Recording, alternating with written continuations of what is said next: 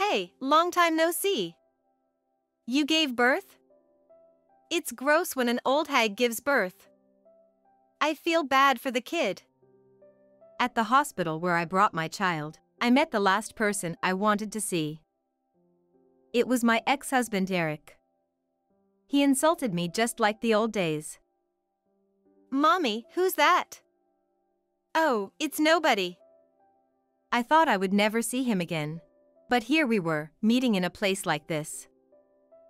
My three year old daughter is a child I had with him, but I didn't want her to know who her father was yet. Thanks to divorcing you, I'm doing well as a banker.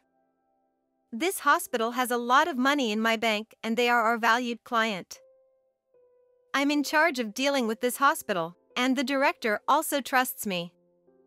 After all, someone as good as me deserves to be in charge of dealing with a major hospital. Even though I didn't ask, he started bragging about how amazing he was. I was not interested in him in the slightest anymore.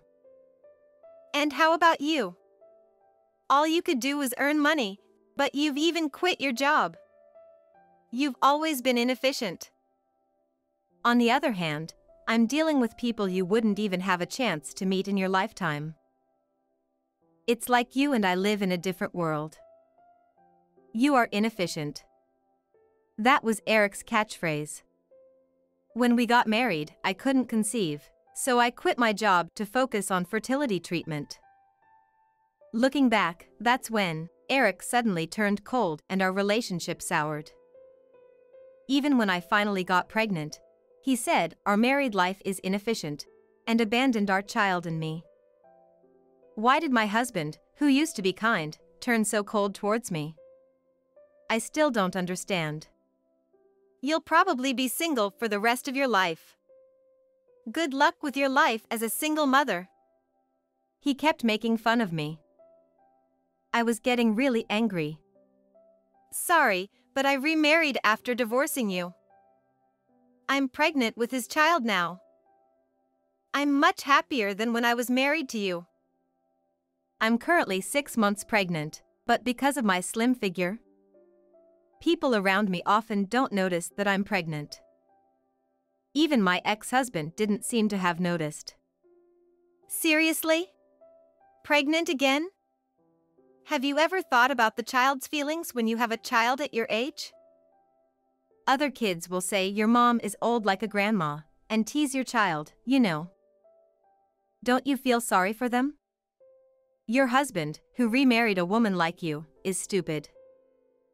No smart person would marry a divorced, single mother like you. I'd love to see the face of that idiot.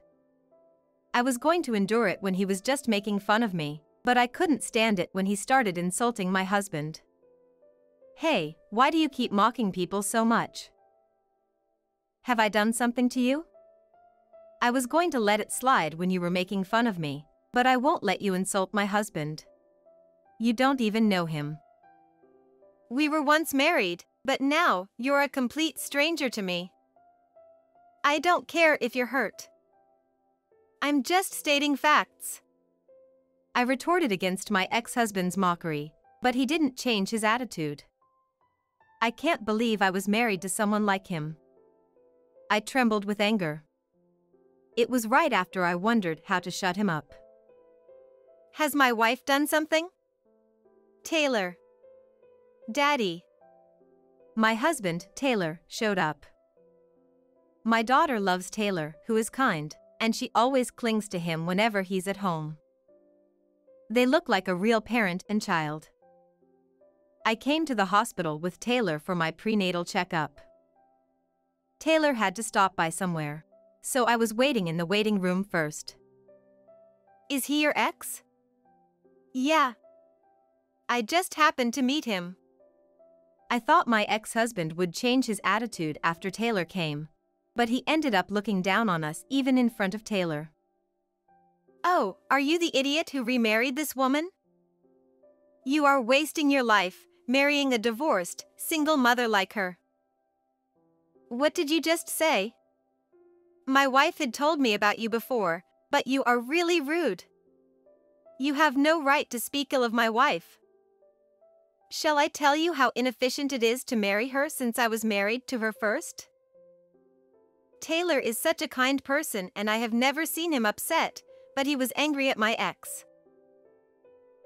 Aren't you old enough to know what's right and wrong to say? I'm appalled. However, my ex husband showed no signs of remorse and did not stop looking down on us. I haven't said anything wrong, I'm just stating facts. But seriously, I feel bad for the child. There is no doubt that kids want a young and beautiful mother. Rebecca is young and beautiful. I won't let you speak ill of my wife any further. Haha. young and beautiful? Are you older than her? Maybe that's why you'd say that, but people in general see her as an old lady.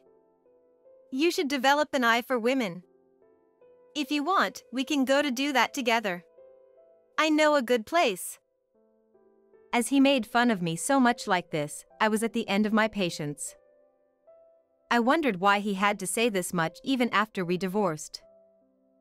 Stop it. I never want to see your face again. Just go away. People around us noticed our argument, and when I raised my voice, people started to buzz. Director, over here. A nurse, who had heard about the commotion, brought the hospital director. What's going on? I heard that men and a woman were arguing, so I rushed over.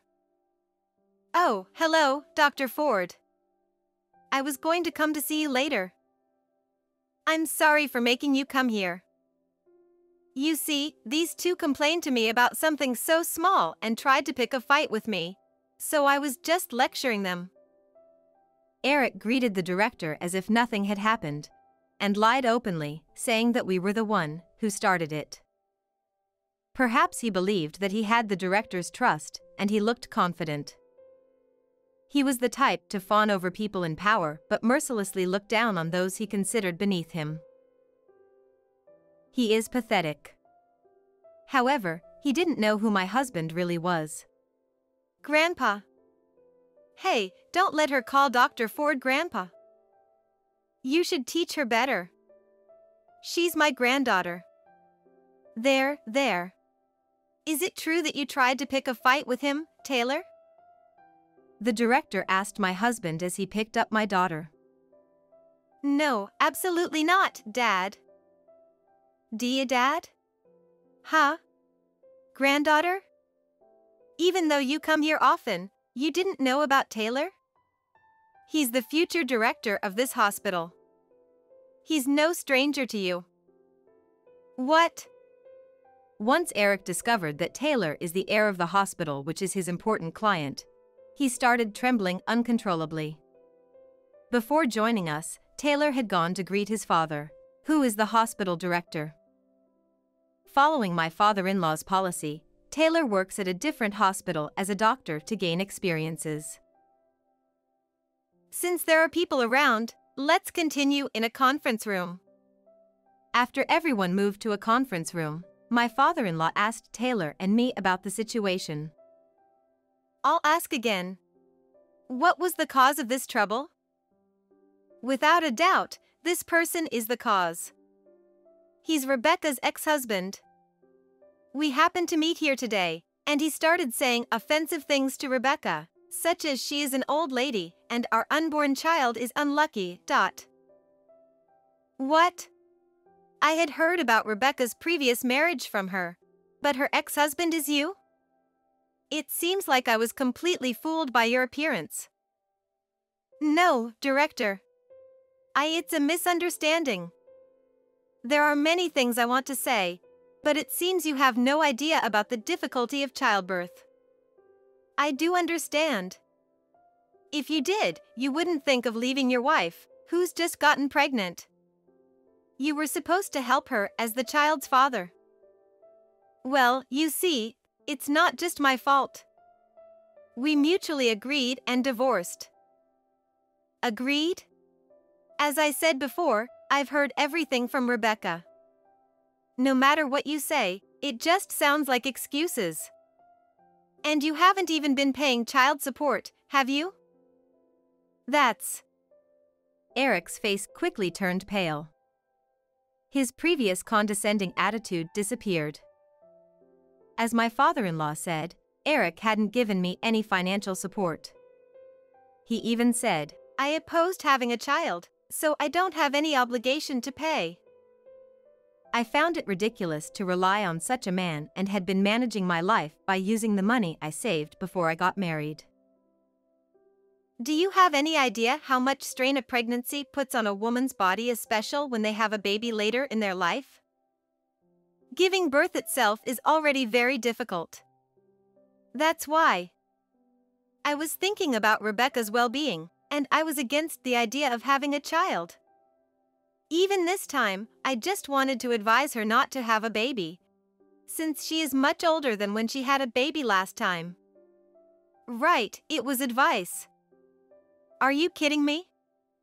I don't want advice from someone like you. It's shocking to hear. Your words and actions didn't show any concern for my wife's well being. No more excuses. I'm disappointed in you. I've had a good relationship with your bank, but it seems that was a mistake. I'll contact the branch manager about this matter. Please. Wait. I'll be in trouble if you do that. Eric hastily stood up from his chair and started begging my father in law. Please. Please don't tell the branch manager. It was the first time I saw someone begging so desperately. And the person who was begging was my ex husband. Stop that. It's cringeworthy. There's nothing more to discuss. Leave. Never show your face in front of us again. I'm really glad that you and Rebecca got divorced. Please. Please, forgive me. Though Eric kept pleading, we couldn't forgive him for such actions. Perhaps Taylor called them, and two security guards appeared and forcibly got Eric out of the hospital. I'm sorry for causing trouble. No need to apologize. I never thought that he was your ex husband. I wish I knew sooner. I'm sorry for making you uncomfortable. No, please don't apologize. Though he hurt my feelings, I felt good since you and Taylor defended me and taught him a lesson. Thank you very much. I was so happy that I married Taylor. I felt that way from the bottom of my heart. I met Taylor when I was a company employee, visiting his hospital for work related matters. Although most of our conversations were about work, he always talked to me with a smile and left a very positive impression. Since I was dating my ex husband at that time, our relationship didn't development into a romantic relationship. I went to the same hospital for my fertility treatment, so I occasionally saw him. When the divorce with my ex husband was finalized, Taylor showed more concern than anyone else and said, If you are okay with it, Rebecca, I want to support you. He apparently liked me since the time I was visiting the hospital for work. With Taylor's support, I gave birth to my daughter. I thought his parents will oppose the marriage between Taylor and me, who is a divorcee and even has a child. But apparently his father saw me while I was visiting his hospital for work, and he was impressed by my job, and they gave us their blessing. And this year, I discovered I was pregnant with Taylor's child. Because of what happened with Eric when I got pregnant last time, I was nervous when I informed Taylor about the pregnancy, but he was extremely delighted. Though he is busy, he's been taking the lead in household chores since I got pregnant. He is the perfect husband and there is nothing I can complain about. This time, we decided to give birth at my father-in-law's hospital which is close to our home, after discussing with everyone. Since then, I've been preparing for childbirth. I should probably say my family has been preparing everything for me.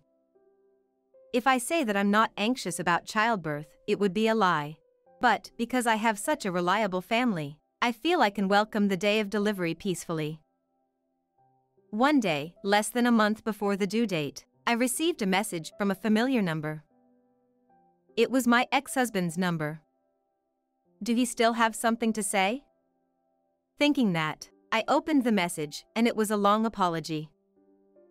As I continued reading, feeling suspicious, it mentioned his current situation toward the end.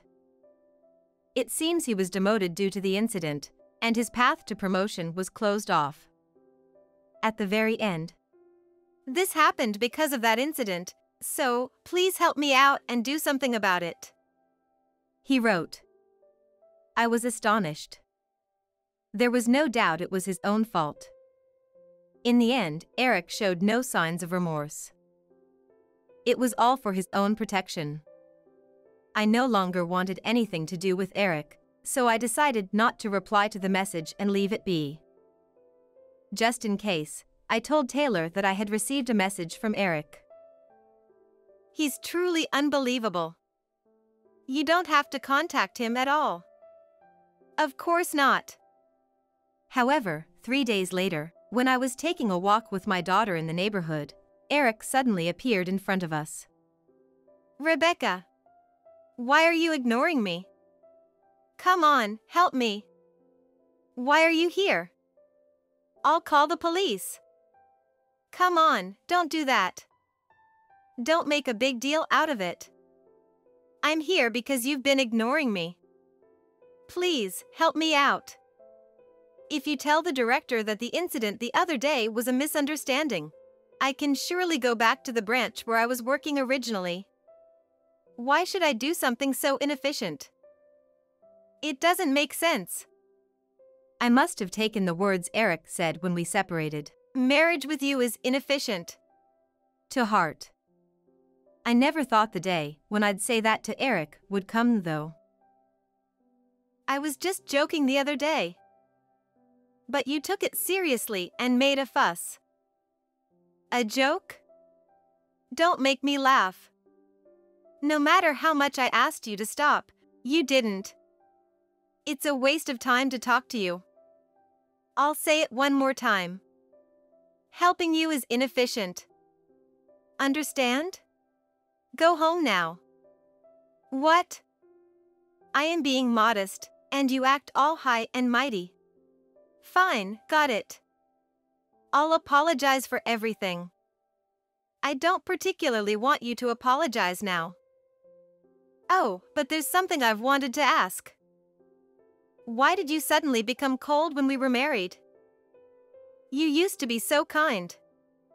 I decided to ask the question that had long been on my mind. We didn't have any significant fights or issues. Is it because of the fertility treatment? I'll be honest with you. The reason why I married you was because you had a good income. I wanted to spend the money I earned only on myself. But once we got married, you immediately wanted children, and fertility treatments cost money. Plus, if we had a child, I knew that you'd stop working and wouldn't be able to earn. Essentially, Eric married me for my income. I quit my job for fertility treatment, which led Eric to give up on us. In fact, I earned more than Eric when I had a job.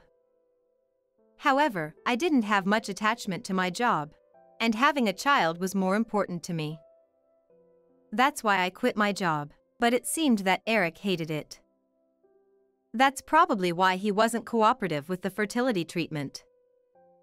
You married me for money, huh? Well, I had a feeling, but is that the only reason?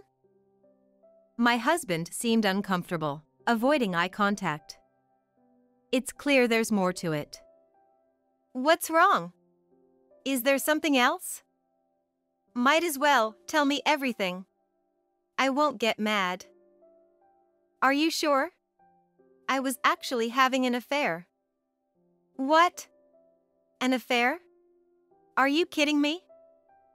You just said you won't get mad at me. This is different. I thought it was a marital issue. I am astonished now. You're truly a hopeless idiot. Well, that's all in the past. I began considering divorce around the same time as I started having an affair. Back then, I was preoccupied with fertility treatments and didn't notice Eric's affair at all. Though it's all in the past, this man is truly incorrigible. But you see, since I've been demoted, she dumped me. I don't know what to do anymore. That's none of my business. She is cruel. She apparently only thought of me as an ATM and when we broke up. She said, I don't need an old man like you. Humph. Huh? What's so funny? Don't you realize? You've called me an old hag and she called you an old man. That's karma. Maybe you thought you wouldn't grow old, but aren't you nearly 40? You're quite the old man. Eric blushed and fell silent. It seemed what I said was spot on. Hopefully, this will make Eric reflect a little. I'm really sorry for what I have done to you. Can't you help me somehow? Eric apologized, but there was no way I can forgive him after he had abandoned me when I was struggling with fertility treatment and neglected his own child. There was no way that I would help him. This kid is my child, right? Okay. If I can return to the branch where I originally worked, I'll pay child support. Stop it. Don't try to act like a father now. Hi, I'm your daddy. He suddenly talked to my daughter, as if he just remembered her, although he's never paid attention to her before. I'm sure that he doesn't even know his daughter's name. Hey. Daddy? My daddy is more handsome than you. More handsome? Ha, kids are honest. W, whatever, your child is as foolish as you. He must have hurt by my daughter's words. His confidence vanished. Anyways, there's nothing I can do for you. I don't need your help now. So can you leave? Eric reluctantly left with his shoulders drooped. After that, I started receiving regular messages from him about his current situation. I didn't reply, but I guess I'm the only person he can talk to. He was relocated to a rural area and he is living alone. His messages describe how unfortunate he is, but I ignore them all. However, it's kind of funny, so I sometimes read them with my husband, chuckling. On the other hand, I gave birth to Taylor's child, a healthy baby boy. I spend peaceful days cherishing happiness with my husband and our children.